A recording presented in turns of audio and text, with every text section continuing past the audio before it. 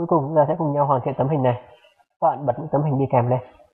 Ở đây chúng ta có thể kéo người. Kéo thả đúng vị trí.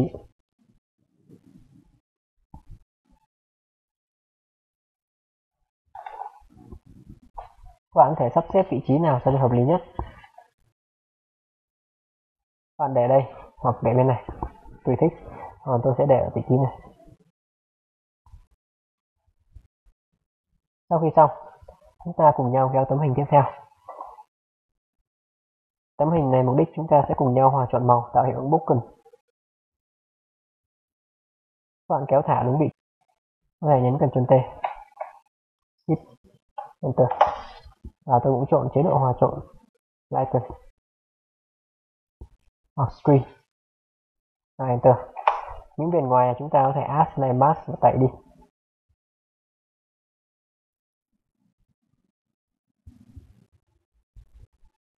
Tạo cho khung cảnh trông mơ màng hơn. Tôi có thể nhấn phím V, sao chép phần bên này. Đối tượng này mình không nên lợi dụng quá. Mình giảm đi.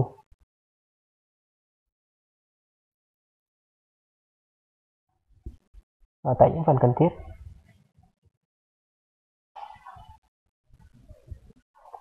Chỉ cho hiệu ứng nhẹ và mờ thôi.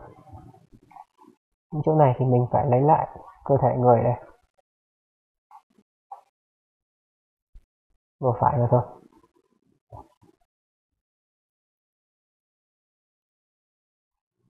Ở bên này cũng vậy.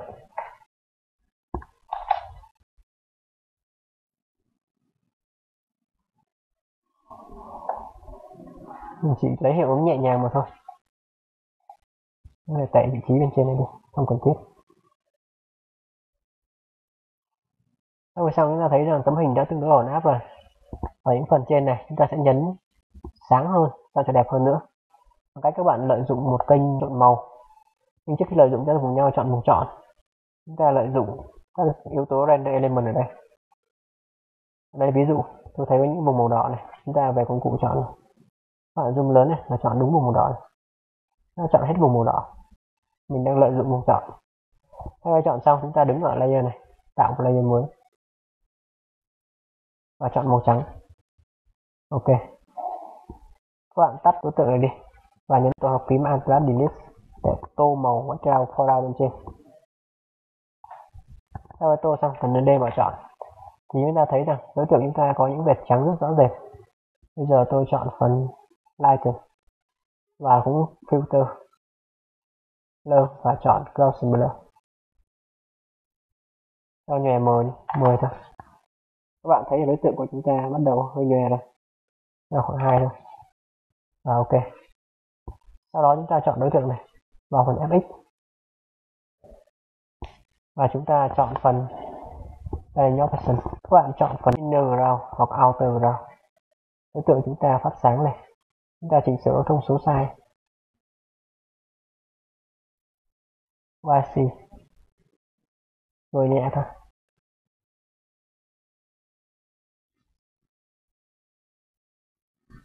Đó chúng ta ok. Đây cách chúng ta làm phát sáng đường viền này. Bây giờ các bạn lần lượt nhấn tổ hợp phím Ctrl Alt Shift E tạo layer mới trên layer này. Là gồm của tất cả layer này. Nếu như các bạn còn muốn chỉnh sửa về màu sắc chúng ta có thể bấm vào đây. Ờ, uh, Windows bật kênh Adjustment này. các bạn có thể chỉnh sửa Hue Saturation đổi thông màu.